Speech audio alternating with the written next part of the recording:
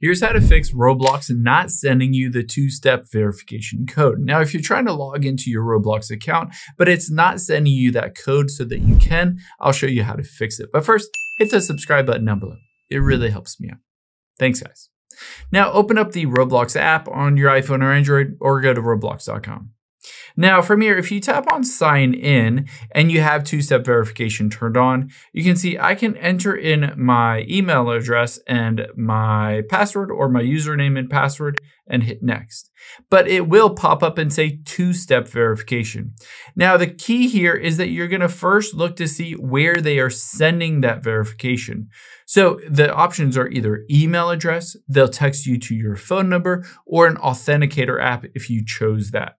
In my case, it's gonna email me that code. So essentially just open up your email and look for that email. There is my email. So you can see there's my verification code. It's right here.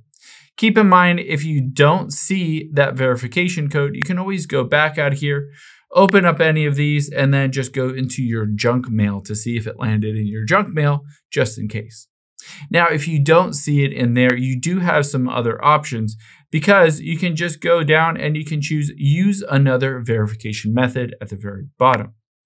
Now on here, you can choose either email, backup code, or a phone number if you had a phone number on there as well. So try a different method to get that verification code sent to you.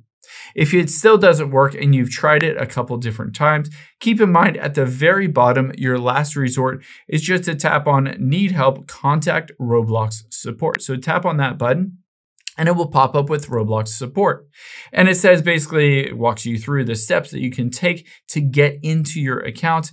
But if any of these don't work, at the very bottom, it says you can contact customer support.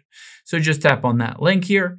And essentially, you're just going to enter in your username, your first name, email address, and then confirm the device. And on here, just say, I'm not getting the code texted or emailed to me. Can you help?